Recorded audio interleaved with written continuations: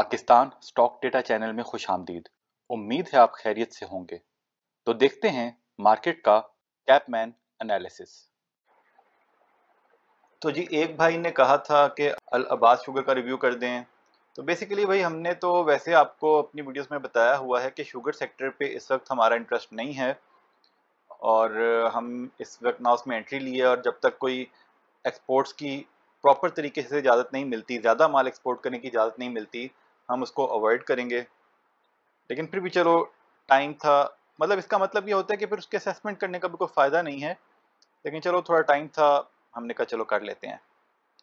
इसका अगर रिज़ल्ट देखें, अभी इसका नाइन मंथ्स का रिज़ल्ट आया है। अभी इसने दस रुपये का डिविडेंड दिया है और नौ महीने में टोटल डिविडेंड पच्चीस रुपये का हो गया है। और अगर इसके, इस क्वार्टर के रिज़ल्ट देखें तो देखें छः महीने में इसके जो है ई e थी तकरीबन छियासी अर्निंग पर शेयर थी और इस क्वार्टर में सिर्फ़ आठ रुपये है। ग्रॉस प्रॉफिट भी कम हुआ सेल्स भी कम हुई।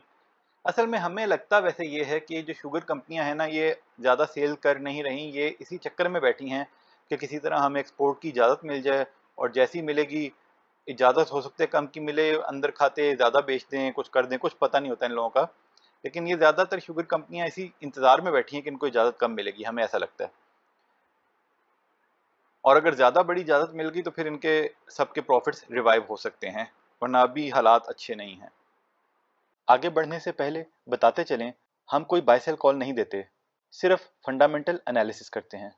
फैसला सबने खुद करना है, क्योंकि मुनाफे में मौज अपनी अपनी और नुकसान में दौड़ अपनी अपनी। अब अगर इनके ट्रेंड को देखें तो देखें पिछले हर क्वार्टर के मुकाबले में इस मरतबा सेल्स काफ़ी कम रहीं। और ग्रॉस प्रॉफिट भी सबसे कम रहा इस क्वार्टर में नेट प्रॉफिट भी कम रहा ईपीएस भी कम रही। अच्छा अगर इनकी हिस्ट्री देखें तो ये डिविडेंड जो है, तकरीबन 50 से 60 रुपए के दरमियान देते हैं, चाहे ईपीएस जहाँ मर्ज़ी चली जाए। तो इस साल भी अगर क्वार्टर फोर भी अच्छा ना रहा तो शायद ये उतना ही पचास रुपए तक का डिविडेंड दे दें, और पचास पचपन रुपए का अगर डिविडेंड ये रखते हैं, और इनका जो रेट चल रहा है 522 उस हिसाब से ये बिल्कुल डिविडेंड के जो टीयर वन में होता है, उसमें बड़ी मुश्किल से जो है ना, ये उसके दरवाजे पे पहुँच गया है। तो उस हिसाब से अगर आप इसमें करना चाहें तो कर भी सकते हैं, क्योंकि इस टाइम पे बहुत सारी शुगर कंपनियाँ जो हैं लॉन्ग टर्म व्यू के साथ विदाउट एक्सपेक्टिंग टू मच तो ये है कि इतनी कंपनियाँ लॉसेस में है, वहाँ पे इन्होंने अभी भी अपनी प्रॉफिटेबिलिटी मेंटेन की हुई है। लेकिन ये है कि अगर इनका, बात वही है कि अगर इनका ईपीएस काफ़ी बेहतर एक्सपोर्ट की इजाज़त मिल गई और क्यू फोर में ईपीएस अच्छा हो भी गया, फिर भी डिविडेंड हम इनसे बहुत ज़्यादा एक्सपेक्ट नहीं करते। और आइडियल सिनेरियो में इसकी प्राइस इसी रेंज में साढ़े चार सौ से साढ़े पाँच सौ की रेंज में ही रहेगी। लेकिन इन कंपनियों का पता कोई नहीं होता, इसका भी शायद फ्री फ्लोट कम है।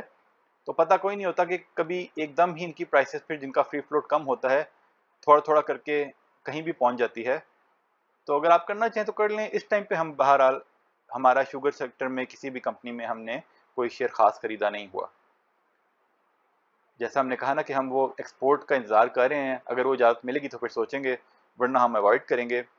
तो दिस इज़ ओके लेकिन कोई पता नहीं अगर क्यू फोर में भी इनकी सात आठ रुपये की ई आती है तो हो सकता है इस साल पता नहीं डिविडेंड पचास तक भी देंगे, कम ना कर दें।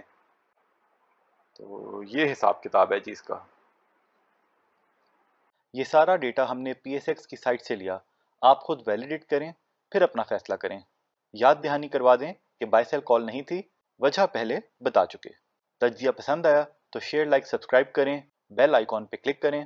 खुश रहें और अपने अमल पर तोज्जो दें। अल्लाह के हवाले।